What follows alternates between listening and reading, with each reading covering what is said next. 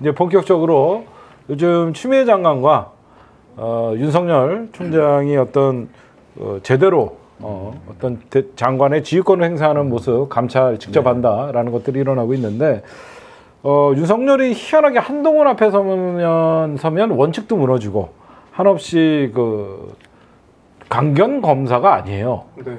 어, 이런 일들을 어떻게 보세요? 우리? 저는 저 그 윤석열 총장이 저렇게 갑자기 사람이 그 유해질 거라고 생각을 해본 적이 없어요. 심지어 엊그저께는 어 강제 소환을 하는 방식의 수사는 지양해야 한다. 아 야 내가 그분이 그런 말씀 할 거라고 생각을 한 적이 없어. 여태까지 자기가 검찰총장에 되고 나서 자기가 맨날 끌고 와놓고 맨날 붙잡아 그 놓고 한동훈 검사장이랑 윤석열 총장이 되게 바른 말을 했어요. 공정한 수사를 해야 된다고 한동훈 검사장이 얘기했고요. 윤석열 총장은 재판을 받으면서 유무죄가 가려져야 된다고 얘기를 했는데 어 이거 엄청 자기네들은 나잖아요. 이미 조국 장관 정경심 교수님 사건 때 자기네 수사 상황 피의사주 공포 막 하면서 이미 언론에서는 이미 죄인을 만들어 놨잖아. 아 근데 그에 비해서 한동훈은 보세요. 얼마 전까지 한동훈이라고 말을 하지도 못했잖아요. 여기서야 원래 실명제니까. 어, 여기 실명제입니다. 막까 우리가 막갔지만 네. 우리도 사실 부담스러워 가지고 한동훈이라는 말을 잘 못 썼어요. 네. 그러다가 이제 지난주에 결국에 이제 그 압수수색을 했다 이런 할때 하니까 우리가 에이 그나마 찌르자라고 해서 확 질렀고 네. 한동훈이 스스로 이제 압수수색에 대해서 얘기를 하고 이렇게 하면서 그 다음부터 이제 전부 다 압수수색 다 나오고 난 다음에 다 한동훈이라고 이름을 깠어요. 그때 깠어요. 근데 그때는 사실 이름을 안 까면 웃겼던 게 부산고검 차장검사 한 명인데 그거를 안깔 수가 예, 없었습니다. 결국에. 부산고검 차장 차장 검사장 네. 검사인 검사장 A 씨 이렇게 나왔으니까 야 정말 대단했어요. 근데 이렇게 돼서 이 사람들이 난리칠 때 흔히 직장인들끼리 대화방에서 하는 얘기는 딱 하나인데요. 어떤 직장에든 같이 일하는 사람이 있습니다. 그런 사람들을 흔히 오피스 와이프라고 부르죠. 서로 오피스 와이프 관계로 남녀가 되는 게 아니라 남자 남자도 많습니다. 둘이 참 보면 파트너긴 하지만 와이프 관계는 아니죠. 속속들이 아는 건 아닌데 이 같이 오래 일을 하면서 손발을 맞춰놨으면 서로의 단점도 잘 알고 어쩔 수 없이 편을 들어줘야 되는 상황인데 얼마나 다급한지를 보여주는 걸로 보시면 됩니다. 지금은 바른 말들을 하잖아요. 그 전까지 자기가 시켰던 게 자기 했던 행동들이 모두 무너지는 말을 자기 입으로 해요. 그럴 때 우리 입으로 똥 싸고 있다고 얘기하잖아요. 근데 정말 하는 짓이 그래요, 지금. 왜냐하면 강압적으로 영장 함부로 날려서 70여 건이 넘는 영장을 집어넣어서 찾아낸 게 엉뚱한 PC, 증거로 인정하기도 힘든 공용 PC에서 나왔다는 걸 흘리고 미디어가 지금 욕을 먹게끔 하고 그러고 났었는데 지금 와서 재판에서 가려야 된다. 이건 진짜 지나가던 사람들만 들어도 웃을 얘기죠. 우리 김태원 기자님 요거 좀 어, 하나 좀 얘기해 주시면 내가 궁금한 게 법무부에서 직접 감찰을 한다 그랬잖아요. 그러면 일단은 대검 인권위에서도 인권부에서도 하고 서울중앙지검 세 군데서 동시에 하는 거예요? 네. 어떻게 되는 거예요? 이게? 그러니까 지금 이제 새 트랙으로 간다라고 얘기가 나왔어요. 그 음. 법무부에서 감찰을 하고 그리고 어, 중앙지검 인권 그리고 인권부랑 그리고 대검 감찰부. 근데 음. 사실 이게 의미가 없어요. 왜냐하면 음. 결론은 법무부에서 내는 거기 때문에 음. 어디서 갖고 오든 결론은 똑같습니다. 그러니까 법무부에게 중앙지검이나 대검 감찰부가 다 보고하게 돼 있으니까. 네, 결론적으로는 똑같습니다. 어 그러면 어떤 상징성이에요? 추미애 장관이 직접 감찰 지시했다라는 것은 그 한동훈을 전보 발령 내고 인사 조치까지 하고. 그러니까 이 얘기는 뭐냐면 음. 니들 자꾸 이렇게 설렁설렁하게 하면은 가만 안 놔둔다. 추미애가 제대로 어? 내가 한 칼 날릴 수 있어? 라고 오. 얘기를 한 거죠. 그리고 한편으로 보자면 이거 법무부에서 감찰하는 거니까 니들은 뭐 손 떼려면 떼도 좋아. 이 얘기도 포함이 돼 있는 거죠. 그러니까 three track으로 갈 수도 있고 그냥 법무부가 계속 쭉 할 수도 있고 그렇다고 보시면 됩니다. 어쨌거나 법무부가 모든 칼을 쥐었다라고 아, 보시면 돼요. 윤석열 총장이 굉장히 외통수에 놓인 게 네. 지금 와서 감찰을 우리가 하겠다고 얘기했을 때는 지휘에 대해서 불복종을 하는 게 되는 거고 음, 항명이 감찰을- 되니까. 네, 항명이 되는 거고 감찰을 하게 되면은 결국은 사실을 밝혀야 되는 상황이 된 거죠. 그러니까 지금 어떻게 뭐라고 말할 수가 없는 게 그 한동수 대검 그 감찰부장. 감, 찰부장이 감찰하겠다, 감찰하겠다 할 때는 못하게 막았다고. 그렇죠. 그러면서 한, 한동수 부장에 대해서 뭐 항명을 하네 어쩌네라고 했단 말이에요. 그런데 이제 지휘권을 가진 법무부에서 발동이 들어와 버렸어요. 그럼 여기서 항명을 하게 되면은 자기는 예, 자기야말로 항- 지금 또 똑같은 상황으로 욕을 먹게 됐거든요. 그렇죠. 그러니까 정말 이도 저도 못하는 상황이 왔는데 한편으로 보자면 야, 이 상황을 만든 게 추미애 장관인가 하는 생각도 들어요. 추미애 장관 이 상황까지 올 때까지 계속 좀 기다리지 않았나라는 생각이 들어요. 결과적으로 보면은. 그건 또 무슨 말이에요?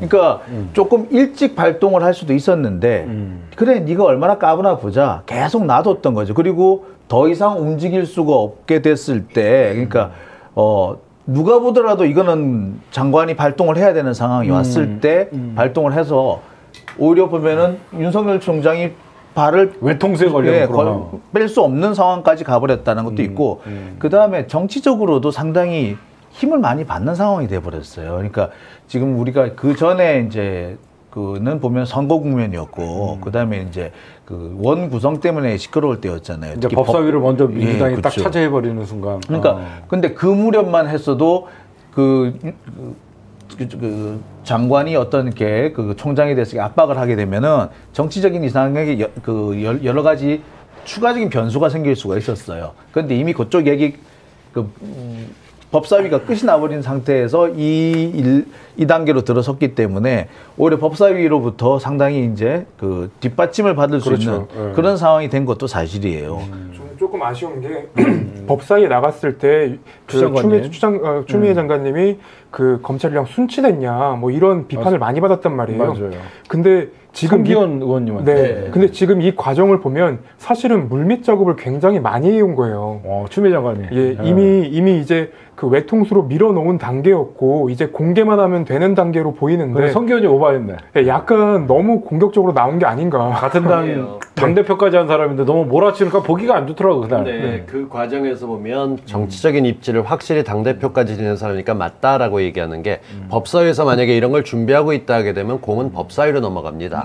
근데 법사위에서 오랜만에 얼굴 붙여주고 추미애가 뭐하고 있었지 하는데 초선 의원한테 갖고 사실은 윤석열이 이렇게 했었다. 그 사이에 제대로 지도하겠다고 나갔기 때문에 나도 대선 주자감으로 있어라는 존재감을 뿜뿜할 수 있었던 것도 기본이고 그러면서도 조치를 할 때는 확실하게 한다. 판사기 때문에 자기 출신에 맞춰서 증거가 확보되거나 과정이 있었기 때문에 어울리는 조치를 한 거다. 그렇죠. 그동안 보이는 거죠. 작업을 많이 했기 때문에 어떤 이 검찰이 검찰을 딱 추미애 장관이 말할 때 뭐가 아킬레스건인지 계속 보아온 거죠. 예. 그러면서 지금 중요한 거는 하, 어, 이 한동훈이가 지금 피의자 전환됐잖아요. 그렇죠. 예. 그 서울중앙지검. 2월 4일에. 예. 그렇죠. 네. 그 피의자 전환돼갖고 서울중앙지검에서 지금 이제는 오라 그러면 와갖고 이제 피의자 신분들은 검사 받- 조사 받는 거죠. 그렇죠. 그럼 이 조사 결과를 법무부에 보고해야 되고. 네. 그리고 그 피의자 전환될 당시에 사실은 그 검찰 내부에서도 좀 문제가 있었던 게그 윤석열 총장, 그러니까 대검에서 이제 윤석열 총장이 직접 지휘하지 않겠다. 그 서울중앙지검.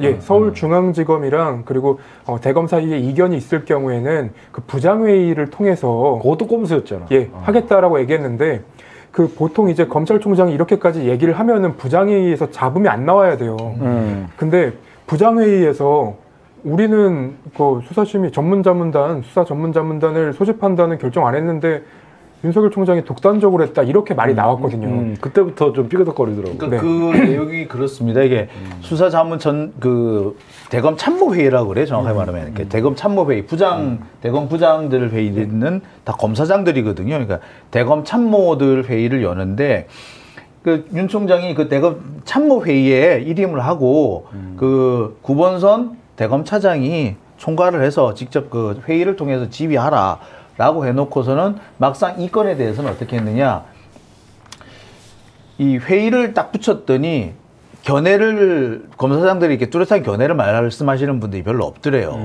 약간 좀 주저주저하는 분위기들. 근데 그 중에 한 분은 아 이거 야- 그거는 여는 거 아니죠라고 명백하게 반대를 했대요. 근데 결론은 나오지 않은 거죠. 그러니까 결론이 나오지 않고 대충 말하기를 되게 주저합니다. 경과 보고를 했는데 경과 보고 하자마자 바로 야 그 열어버려 라고 했던 거죠. 그러니까 그러면서 이제 딴데 딴데 외부에다가 얘기하기로는 이 부장 회의 거쳐서 그거 한 거야 라고 얘기한 거죠. 그런데 부장들이 열받은 거죠. 우리는 그런 적 없어. 윤석열 윤석열이가 독단적으로 한. 거거든. 예, 그렇게 또 얘기가 이제 흩어지기 시작한 거죠. 그러고 있는 와중에 이제 중앙지검은 한동훈을 피의자로 전환을 한 겁니다. 그럼 결국에 뭐냐면은 한동훈, 어, 저, 윤석열 따로, 대검 참모진 따로, 중앙지검 따로 각각 따로 움직이기 시작했다. 그리고 새 부류의 생각이 조금씩 다르다. 그러니까 지금. 윤석열이가 굉장히 아 이 방송은요 아무데나 치고 들어오면 돼요.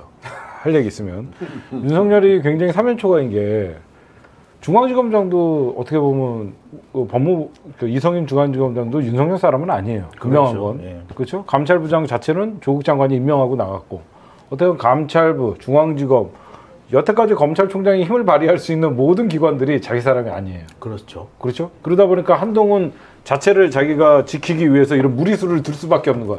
과거 같으면 딴 데 시켜갖고 알아서 하거든요. 감찰부 그렇죠. 지시해라 그러면 명분 있고 감찰이 지, 저, 지금 수사에 나섰으니까 결과를 보고 얘기합시다. 그럼 끝나는 상황인데 감찰부가 자기 사람이 아니니까 감찰했다가 한동훈이 죽겠거든.